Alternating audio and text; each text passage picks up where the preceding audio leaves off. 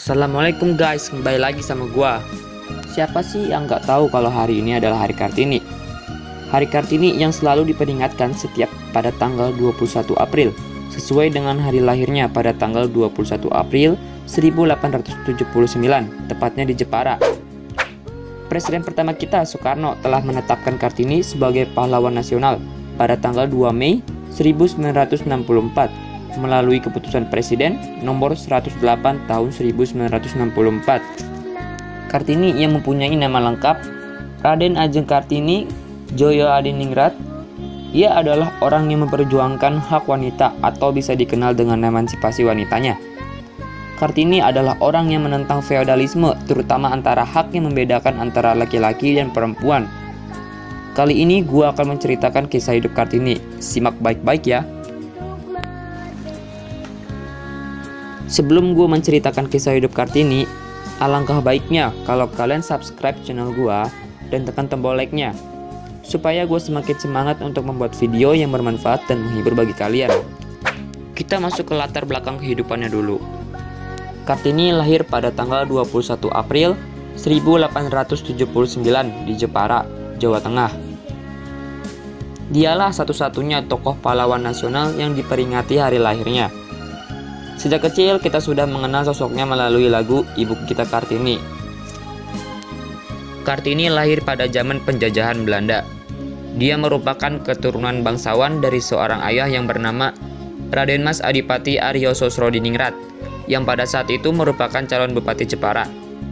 Ibunya bernama Mas Ayu Ngasiroh berasal dari kalangan masyarakat biasa. Dikarenakan peraturan Belanda yang mengharuskan bupati beristri dengan seorang bangsawan, maka ayah Kartini menikah lagi dengan keturunan bangsawan Madura, yaitu Raden Ajeng Urjan. Dikarenakan adat istiadat, sejak kecil Kartini sudah terbiasa melihat ketidakadilan yang terjadi antara kaum perempuan dan kaum laki-laki. Yang kedua, masa kecil Kartini. Kartini merupakan generasi pertama yang menerima pendidikan dari Belanda. Di sekolah, Kartini sering sekali melihat diskriminasi seperti setiap pagi sebelum pelajaran dimulai, pemanggilan murid-murid dipanggil berdasarkan warna kulitnya dan keturunannya. Kartini ialah sosok yang mudah bergaul, pandai serta aktif di kelas. Yang ketiga, masa remaja Kartini. Ketika lulus dari SD, Kartini ingin sekali melanjutkan pendidikannya, namun ayahnya melarang. Dengan alasan untuk mematuhi adat istiadat bangsawan Jawa, yaitu harus bersedia menerima lamaran laki-laki tanpa memiliki hak untuk menolak. Sementara berbeda dengan saudara laki-lakinya Kartini, yaitu Raden Sosro Kartono. Dia boleh melanjutkan pendidikannya. Sosro Kartono sering mengirim buku bacaan kepada Kartini. Dengan semangat Kartini belajar dari buku-buku tersebut, dari buku yang Kartini baca, Kartini secara diam-diam mengajarkan kesetaraan kepada adik-adiknya. Karena hal inilah Kartini merupakan gadis pertama yang menentang adat peradaban Jawa. Sang ayah pun akhirnya membebaskan Kartini dan adik-adiknya.